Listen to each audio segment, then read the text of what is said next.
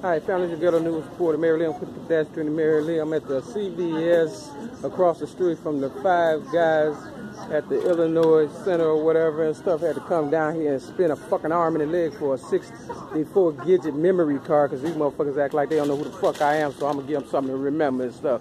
All right, let's see if this goes through before I do my real motherfucking ghetto fabulous reporter on my mama, daddy, grease, grease, grandpappy, and every motherfucker that can't stand me. Gotta go.